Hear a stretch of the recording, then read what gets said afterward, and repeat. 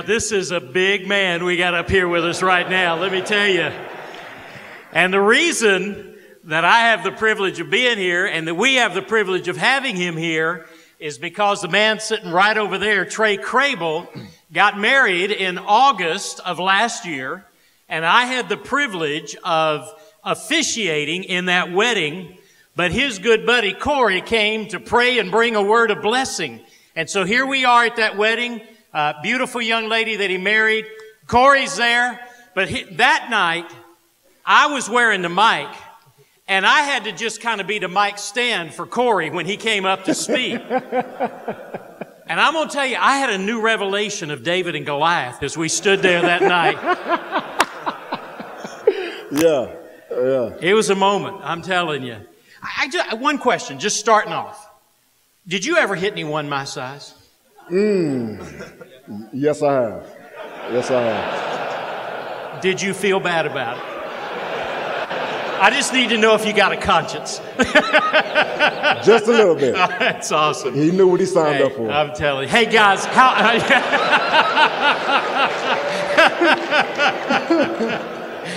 well, amazing that we have you here, and man, I have so loved getting to know you, Cory. I mm. really have, and you know, amazing things happen in your life. You're number one coming out of high school. 13 years, am I right about that, Yes, in your NFL career? Most of you know that NFL stands for not for long. Uh, that, uh, that, that the average player is two and a half, maybe three years of play. And uh, this man was there. He stayed 13 years in the NFL. How about that? Let's just, let's give that up and talk about that. So, so we got Lions, Seahawks, Ravens, Cardinals. I mean, this man has been on the field with just about everybody that you've ever looked at, cheered, idolized, thought about. I mean, he's been there and he's hit them. and uh, pretty amazing. It really is. So l- let me just ask you, though, what is life like as a player in the NFL? Oh, I mean, help, help us. I mean, we, we watch this, we love this, we cheer this, but what is it like to be a player in the NFL? Well, everyone sees the Sunday glitz and glamour, right? And that's and it's awesome. We, we love to see people go out as a team concept and use their God-given abilities to make tackles and catch balls and you know do tremendous things to woo and wow the crowd. But when Sunday is over and Monday comes along, that's where the real NFL starts. It's a very physical sport, very violent sport. If you play in it as long as I have, Monday mornings are not fun. Took a little while for me to get out of my bed, you know, from year eight to 2016. Um, struggled with pain, you know, struggled with, um, you know, trying to keep up with the young guys. That's a young guy sport. It's a young guy sport. And so I always have to just train my mind, retrain my body, say, I can do it one more time. Just get through the week. Lord, just, just bless me to get through the day. And each day was like that. But there is a lot of joy that comes out of that too. You know, you you get a chance to go to different schools and different platforms and see different people, and and through football, it gives me a gateway to talk to them and connect with them. Yes, I use football as a way to communicate, but I also sprinkle in some seeds of Christ in their life through those conversations. And so, if it wasn't because of foot, if if it was not for football, I wouldn't have had that opportunity to bless others. Do you miss it? I miss it every day. I miss it a lot. I just needed to hear you say that. I miss it a Missing lot. it a lot. I miss it a lot. It's- I'm- Watching game tape a couple weeks ago. I'm starting to get that itch. I want to hit somebody. I don't know. I miss it. Let's go. He's already said he hit somebody my size. I'm out of here, man. Shepherd knows he leads the flock, so that's what I'm gonna do. So, so looking back, Cory, um, any any just, and I know this is kind of one of those hard questions, but greatest moments. Any, any great moments that just you think about, man, that was that was one of the best moments in my life playing.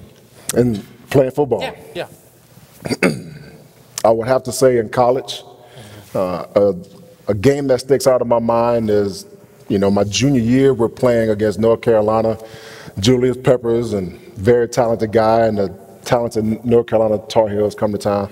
But that game, that, that day, we dedicated a game to a fallen brother. and his name was Cole Pittman, and uh, he died in a car wreck coming back for training camp that year. And so we dedicated that game to him, and it was just such a tremendous day of just emotion. He wore 44.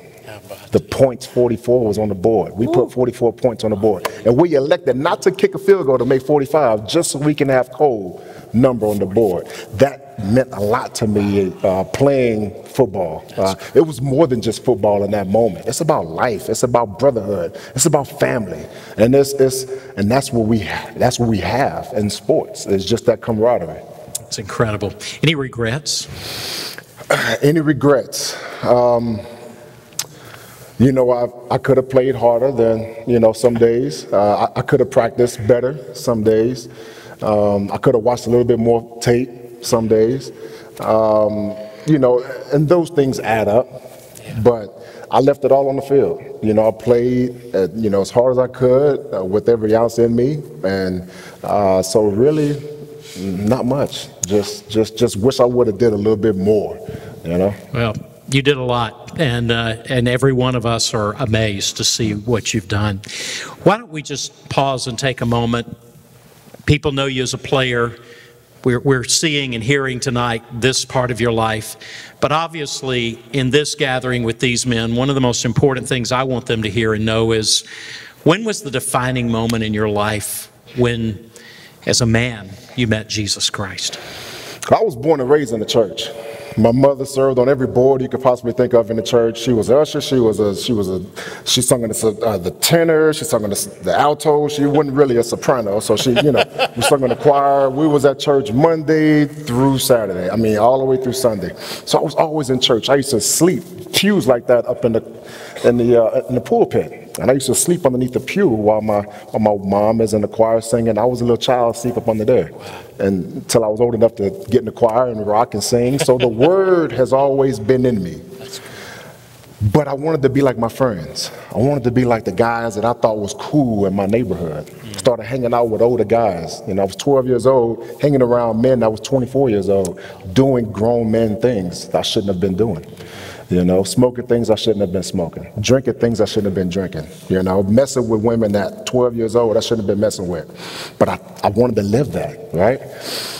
I went on through college and, you know, continued down that path of the world, knowing what was in me, pulling on my heartstring, yet I was running away from God, right? Um, I wanted to control my life, you know, and, and uh, yeah, some good things happened, but it wasn't always like that. Uh, I struggled and carried that on into the pros. Young, I'm married, I have a daughter, yet I'm still out two, three in the morning, four in the morning. Wow. My wife is asking me, What are you doing? You know, I'm, I'm, I'm doing everything that I think NFL guys are supposed to do. But then by my third year in the NFL, I got tired. I really got tired. I emotionally was drained, physically was drained, and I needed something. And I knew what that something was. I just needed to stop running away from God and just turn around and just say, Lord, I, I, I submit my life to you. I, I'm sorry. Please forgive me. You know, and Lord and behold, when I made that 180, he was standing right there. Amen. He was standing right there waiting for me. So you know, that's that's no matter what you're going through in life, I went down that road. I've done those things. I thought those things were going to bring me happiness. It brought nothing but pain and misery. It, it, brought long nights and very short days. You know, it brought a lot of headache to family members and friends. And I thought I was just doing this for me, but I was really just hurting myself. And when I turned that 180 and I saw Christ right there, and I got on my knees in my apartment in Austin, I just said, Lord, I surrender. Everything I am, I belong to you. Less, I want to do this your way. And the day that happened, I just, everything has been taken off. You know, just been a great relationship. So, what would you say, what areas of your life have been most affected by that commitment to Christ first, over the long haul? First and foremost, my better half, my marriage. wife, yeah. my marriage. Um, when I did that, I became a better husband. I became a better father. I listened more. I sympathized. I compromised. That's a hard word. I had to, uh, no, I'm doing it this way, you know. But I had to compromise, right? Um, I had to learn how to love my wife each and every day. That's picking up her cross and bearing it, right? I had to learn how to love my wife, and in doing so, blessed me with 14 great years of marriage. I'm looking forward to year 15, which is in October 11. Fellas, you better not forget your anniversary to your wives now. but when I did that, because when Christ is in you, Christ is love. So when I invited him back into my heart, the love was just pouring. Love was pouring into my community, into my family, into my friends, and, and to my kids, you know, and I wanted to give them what I didn't have, and that was a father in the home, which is tremendous, wow. which is huge. Well, I know you had a tremendous impact on Trey's life and just the whole process of uh, the journey toward marriage. So, Trey, would you like to just maybe ask yeah, him something about that or tell to. a little bit about that? Um, Cory was a, a, tremendous mentor for me over the past probably 10 or 15 years, but um, there's been two instances, and I'm going to ask you about both of them up here, okay. where he's uh, stepped up and shepherded me in a, in a huge way. Um, and the most recent was, was through getting married. And um, I relied on Cory, and so did Kath, uh, tremendously for the advice and counsel and guidance that he's brought into his home because we've been able to watch you model that so well. Mm-hmm. And so, what I wanted to ask you um, is to share a little bit with these guys about kind of how you told, you know, Kath and I what marriage is to start, how it, how it transpires as you go through, um, you know, and how that relates to raising your children too. Because I remember you you were talking to me about football, and you said a lot of people think marriage is you know, the, the touchdown, but it's the kickoff. Mm-hmm. It is. It, you know, it truly is. And excuse me. When you take that woman's hand and you ask her to accept your last name, you're asking her to do a huge thing. She's leaving her family legacy to create a legacy with you. And so these are some of the things that I told Trey that I had to learn in my marriage that is just a kickoff in the football game. And the game that you're playing, and, and, and the team you're playing against is Satan and his team. Because when you're in marriage, you are one. You said, I do. You cut the umbilical cord from your mom. Mom, I love you. I got to go. But now my wife and I are one. When divorce happens and things happen, people think that I'm just going to be better because I'm separated from this woman. But you're literally tearing yourself apart. So when you go through that, you hurt yourself more than the whole divorce. And so these are things that we talked about, you know, sitting on our couch and whenever you come into town for business. And I just had to paint that picture of football. You standing on the middle of the 50 yard line, you, you and your wife, an enemy and his and his team. And you got to use the power of God and use Christ in your life and just march down the field, play after play. And sometimes you're going to get a 15 yard catch. You're going to get a 30 yard burst through the middle, but you're going to get tackled. Something's going to happen. Or life gets in the way and stress happens and you take a 15 yard loss. But that's when you get depressed and you get, you know, you get put down a little bit. But guess what? In life and in football, you get another play. And when the play is over, the whistle's blown, you got another play. And that's another day and another day and another day of God's grace. And so you use those days, you use those plays to say, I am a conqueror. I can do all things through Christ who strengthens me. I am the head and not the tail. I can do above and, and exceeding that anything that I can do or say because it's in his word. Like these are the things you say to the enemy when you play the game of football. And when you do that, ah, it's a beautiful game to play. You, you, you appreciate the gains and you learn and love to respect the losses because it makes you that much better of a man moving forward until you score that touchdown. So it's just, those are some of the things we talk That's about. Good. That's good. Thanks, bud. Yeah, man. It. That's good. Well, I want to ask you a little bit about um, your family life growing up. I do know that it is public record that you mentioned that you've had you had an absence of a father mm-hmm. in your home, uh, that that impacted who you were and the emotions that you carried in your life. Can you tell us a little bit about that and and how you um, have learned from that? Because you've had to go from not having a role model to trying to become a role model in your life and family. Tell us a little bit about that. God has blessed me with tremendous men in my life to to show me what being a father is all about, what being a real man is all about. And it's not just, you know, taking women and loving on them and doing this and doing that, but it's really it, truly embodying the word stay and fully commit yourself and persevere through all situations. Um, my father left when I was three, saw him again probably when I was eight.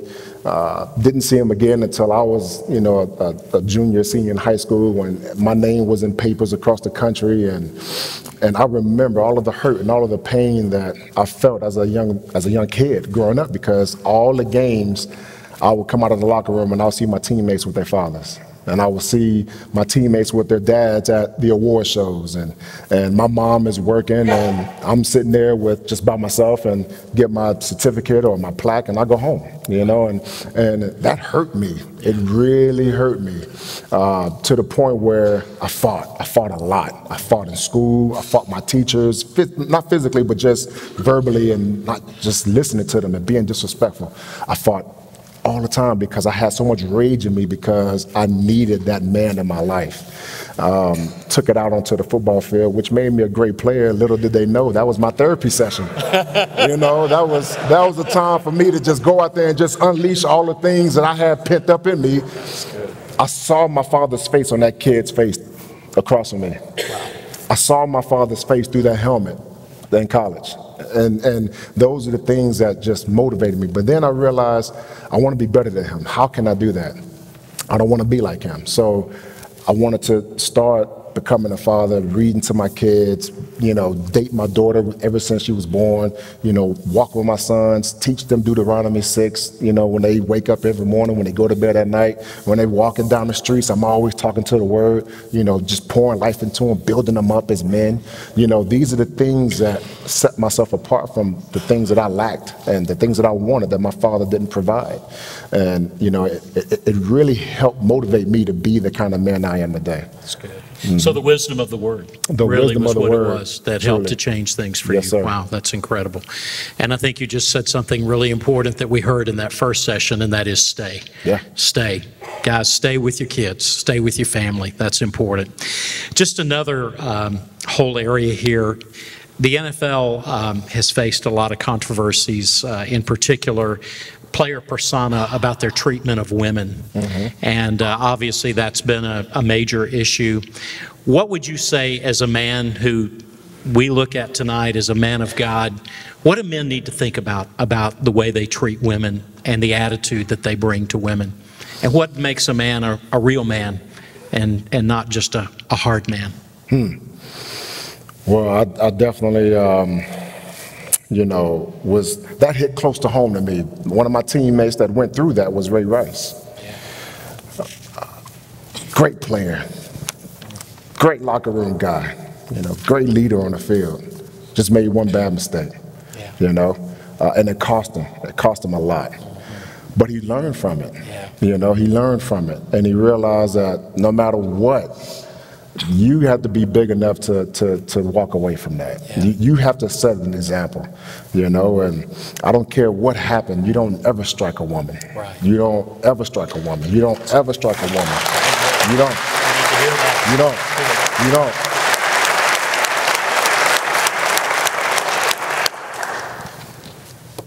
When you're a follower of Christ and you love God, you love everyone. Now, sometimes that, you know, that it's called tough love too. Yeah. It's called tough right. love too. It's true. But in loving, you have to love them enough to say, I'm not going to get in this argument. Right. Men, we have to understand you don't have to attend every argument you're invited to. When she come home, when she come home, or you come home exactly and frustrations right. built up and the kids been crazy and you've been sitting in traffic and all this stuff, and she says something and you just want to, uh, nope, that's an invitation. I'm not going to go there. I'm not going to go to leave the room, guys. Do something that's just going to, you know, get you right because we are. They they need us. They you know they they want that strength, right? And when we when we when we tear that down with our words or with our fists, it's hard to rebuild that up, guys. It's hard to rebuild it up. God loves her. He made her for you. Cherish that you know, cherish that. Don't ever break it down with your words or your fists. And that's something that the guys in the NFL and guys across this world need to do. You know, we need to be bigger than than what, you know, people say it's okay to do this and it's okay. No, it's not okay. When you live in the world, it's okay, but when you walk along with God, it's not okay. You got to live to a different creed, you know? Different and, standard. Yeah, different standards. That's it. You can't do it. I love that, though. I, I want to be sure everybody gets that that you don't have to attend every argument you are invited to. Yeah. That's a really, really good word. Thank you uh, for saying that tonight. I, I'm known for wanting to be right. so I confess tonight. There we go. Yeah. Um, life after the NFL. You know, Oh. you've you've you've had this amazing career. You've spent your life stacking up all these stats, and all that's so incredible. And it's obviously given you a phenomenal platform. Mm-hmm. So, what are you doing with that platform now? I know you're involved in in some speaking things, and mm-hmm. and I know you have a charitable foundation. Mm-hmm. So, just tell us a little bit about the life vision and opportunity God's given you right now in life. I realize what I do um, is very unique and it's very special. Football is what I did, is not who I am. And, and so I know who I am as a man, as a child of God, and as a father, and as a leader. So I know I have to lead and provide. I also know the stage that I was blessed with can either be used as the parable in the Bible where uh, three men got three different things. One got three, one got two, one got one. The one went in here because, my, you know, my, my father only has this one, so I'm going to bury it. Well, that one you buried was taken away from you. So I understood that parable to me was I have a gift. And although I have maybe one or two or three, whatever it is, I have to make that multiply. So how do I do that? I got to go out and, and talk to kids and, and, and, and train them and, and give them seeds on their on their hearts and let God use that. So I created a foundation. I went back into the in the neighborhoods and looked for kids that looked like me, was in the same situation as me, and trying to give them you know, show them their hope. You know, this can be you. You know, um, and then and then I went into other communities and said, okay, since I've done that, I, I want to go and bless others. You know, it's it has opened so many doors. All of the accolades and all of the plaques and and trophies, yeah, that's fine. But I find so much more joy in going out and touching people and reaching kids and, and telling them that you can be more than just football. You can be more than just basketball. You can go out and change folks' lives one person at a time by using the gifts God has placed in you. You have to find out what that gift is.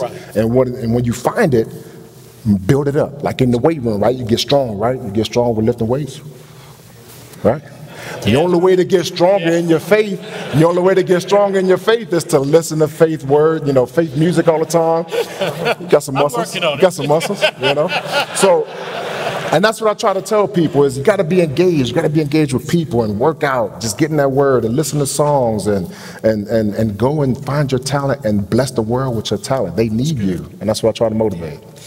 Well, and I think men need men in their lives, Yeah. men who are different than the pack, men who call them out, who step up, men who really at times are abrasive but are always there to uh, to pick them up. And I know one of the men that you've really impacted is Trey. And uh, Trey, I, I know just in some conversation we've had, you've shared there have been seasons and times in life where it was Cory Redding who not only was there to help knock you down, there to help pick you up, make a difference. And uh, just uh, maybe tell them about that or, or let Cory tell them about it. Yeah, for sure. I mean, um, I met Cory whenever he was in, in Baltimore, and he was doing well, and so was I. And, um, and you know, life happens, and, and all of a sudden, next thing you know, I'm living in Augusta, Church, uh, Augusta, Georgia, um, sitting in one of those pews up there, um, really, really ashamed of myself, and, and probably my darkest hour.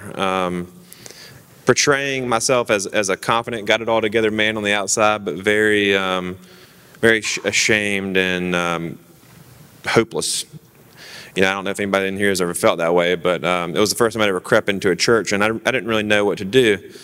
And um, as long as I knew Cory, you know, we've always called each other fam and brothers and see baby. See, baby. See, baby, if you know him, see, baby. But I, I finally just broke down, and, and actually it was because Cory called me and he said, um, he's like, he's like, fam, I can tell, you know, I, something's wrong, something's up.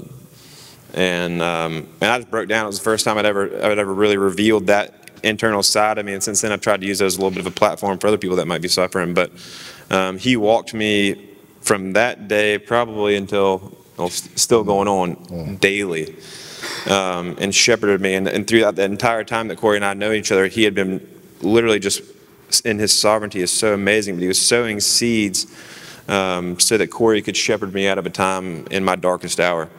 And so, my question if there's anybody in here that is going through something like that, um, number one, as, as a strong Christian man, how do you identify that person that might be hurting or that person that might be hopeless or suffering on the inside? Um, and then, as the believer, you know, what, what do you do to shepherd that person through that process?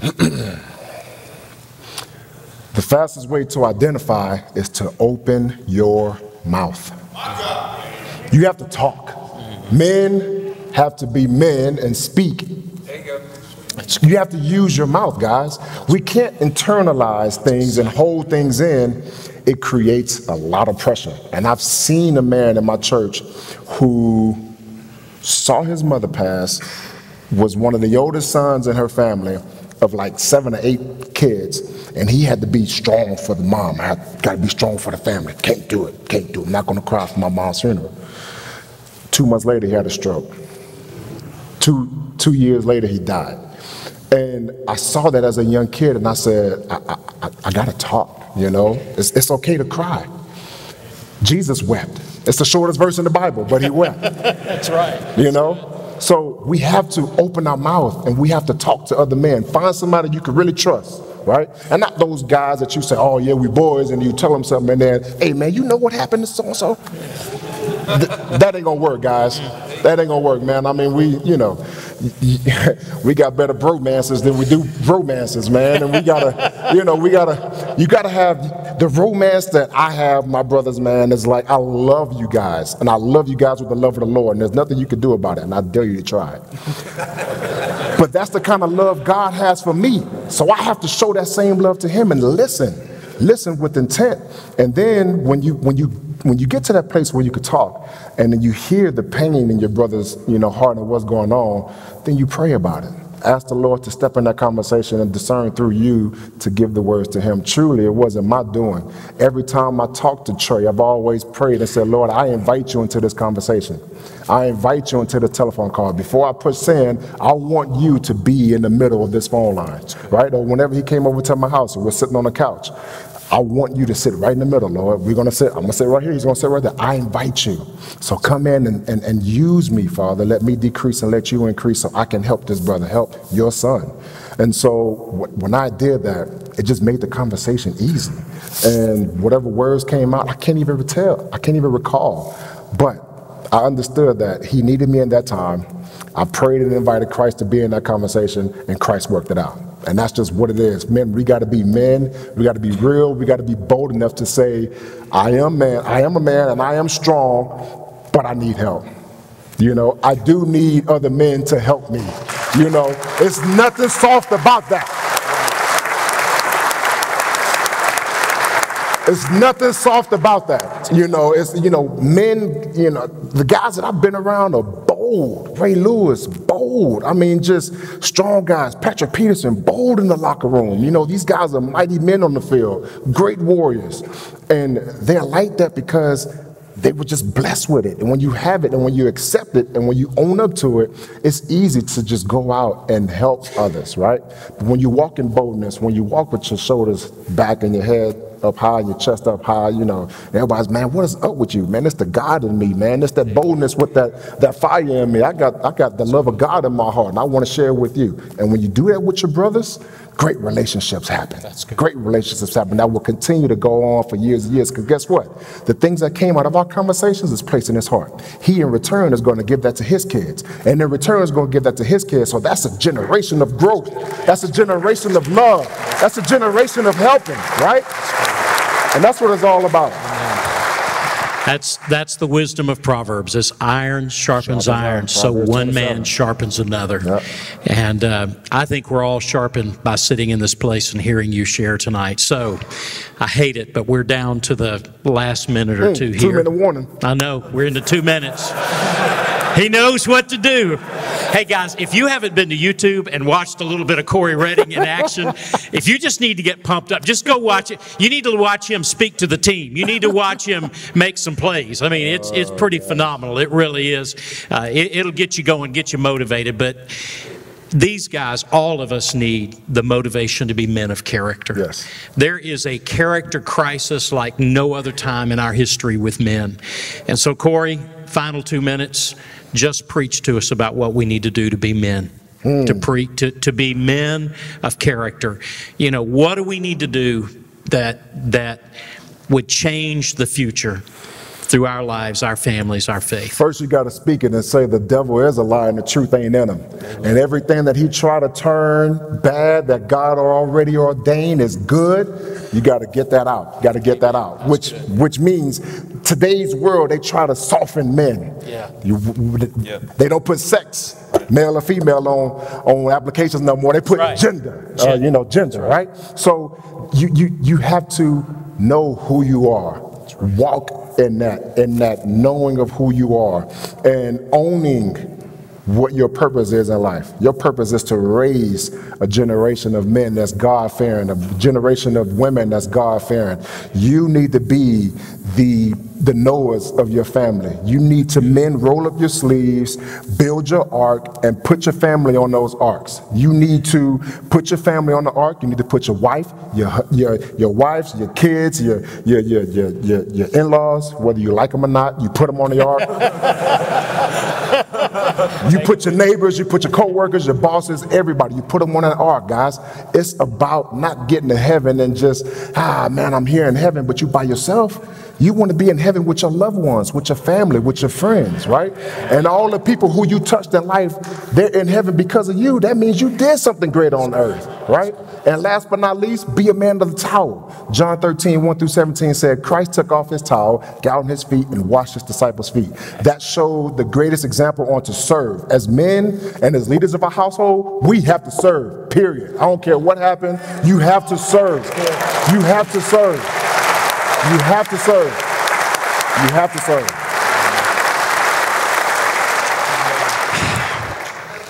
Clock's just not long enough. Uh-huh. But, buddy, Yeah. you have delivered tonight, mm. and we just want you to know we love you. How about giving it up for mm. Cory Redding being here tonight, huh? Amen. Yeah. See that. Thank you, brother. Hey, man. Man, that was awesome.